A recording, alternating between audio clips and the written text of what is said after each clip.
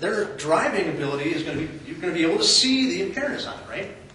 That they were more impaired than just the alcohol alone, yeah. That Well, they- were relative, yeah. They were doing things like you just testified to, that they were, you know, swerving around and, and uh, uh, were they braking differently and things like Yeah, that? They broke it all down. I don't have that study with me, but they, it was different, noticeably different. But their conclusion was that a little bit of alcohol below the legal limit and a little bit of marijuana together can make you more impaired than the alcohol alone. So um, I forget exactly what it was, what the levels they had were, but like an 04 and a little marijuana would be, make you as impaired as an 08 or 1 or something like that. Anyway, that was the take-home message, that you get the effects of the two drugs together, um, increase the You could see it, that's what they were saying, you could see Well- the effects, you could just watch these people drive, and they were driving all over the place. I don't know if that's, I would characterize it exactly that way, because they were looking at the, the deviation from the, position. I don't know how exactly robust the effects were. I don't know if people on the sidewalk were going, wow, look at that guy, or whether it was really all just a more matter of millimeters of the car and how how fast they were swerving. Um, It was, it was detectable by the methods they used. Whether it was really obvious to people on the sidewalk, study didn't even address that question. Well, it seems pretty detectable when you talk about uh, braking difficulties, swerving all over the place. I mean, they, that report, you read it, they really saw a big change there, right? They did see a change. The, the change was biggest with the highest levels of alcohol, and with drugs, the change was more moderate at the lower levels. And uh, one thing I also got out of that uh, article that was interesting to me was what they said about marijuana when there is no alcohol present. And they said that it's tough to sort of get a correlation between being impaired and smoking marijuana, right? Levels of marijuana do not correlate well with impairment, as well as even as alcohol levels do. Yes, marijuana use just has found that many times as well. The levels, the subjective effects, or the effects people report, are most intense at the beginning of the smoking period, and less so. So at some point, your THC is going up and it's coming down.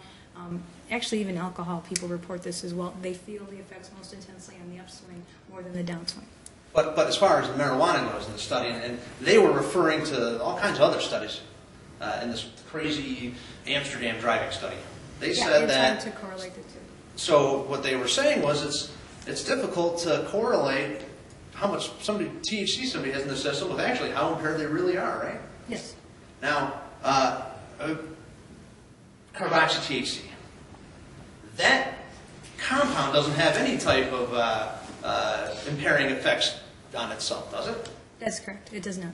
So if, if uh, we got, uh, you know, uh, Mr. Jones, who was standing next to Mr. Smith over there at the the drum circle, and we brought him over to our time machine, and he told us he hadn't been smoking any marijuana at all.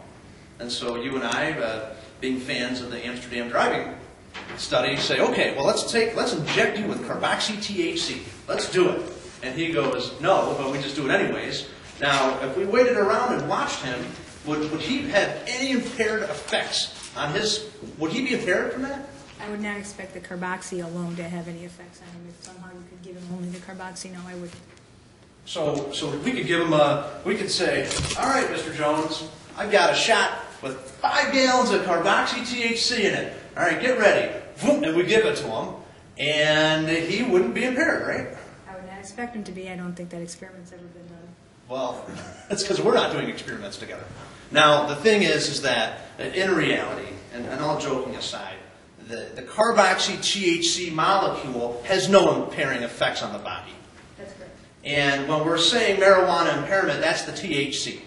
Yes. And in this case, Paul, he didn't have any THC in his system, in his blood, right? That is correct. So all he had was 10 nanograms of this uh, metabolite that really doesn't do anything to you, right? That is, well, maybe and maybe not. He doesn't have any in his blood, but he may still have some in his system. And the effects um, are not only dependent on the presence of the drug, as you have just said yourself. So the, the drug triggers some effects that last beyond the presence of the drug, and it, in Maryland studies have found that as well. So you have carboxy THC, you know the person who smoked marijuana recently. Those effects are not going to dissipate immediately after the THC is gone. Those are effects, and depending on what abilities you're looking at, some abilities that are impaired longer than others are going to take some time to get back to baseline. So just because a person doesn't have any THC detectable in their blood. If they have carboxy-THC, you can infer that they smoked it recently, and it is quite possible that some of those abilities are still impaired, even though the THC is not detectable in their blood any longer. But, but let's be, let's, let's look at the science here. And the, the stuff that you're talking about, these studies and everything else, because that's where you're basing your entire opinion on, right? Studies and my personal experience with the the cases in our laboratory. But, I mean, when you say personal experiences, you've never actually, have you ever actually interviewed somebody who had smoked marijuana? I've had defendants call me. Um, That's gotta be an interesting Outside of that, no. Okay, so outside of conversations over the phone you've had with defendants who, I'm surprised that they got your phone number. um, But uh, outside of that, you've never actually seen somebody who's smoking marijuana, right? Not in lab studies, no. Okay, but in the lab study, you've never seen it, right? Correct. Um, So really, what we're looking at are these, these studies. And so let's talk about that the crazy Amsterdam study again.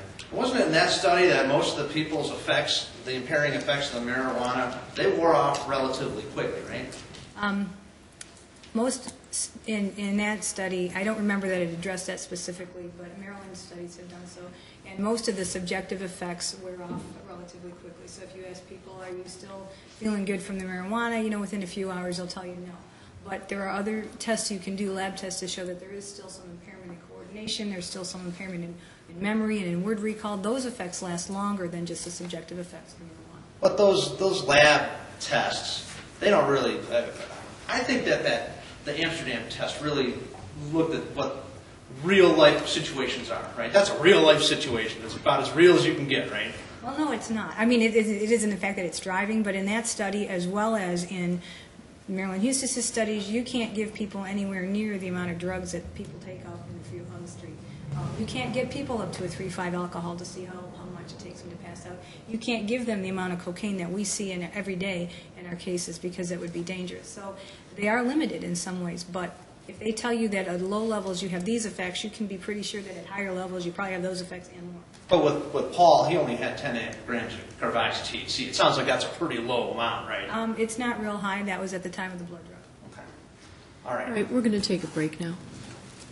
Can we have the attorneys approach, please? You can sit down. Amen.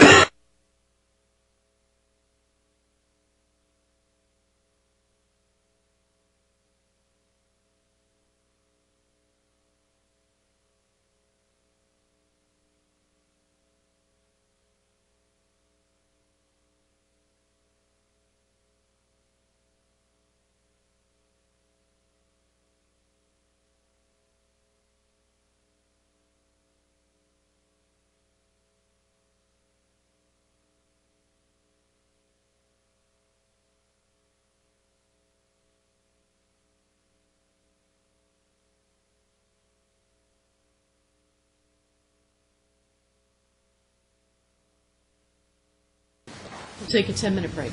All right. Court is in recess.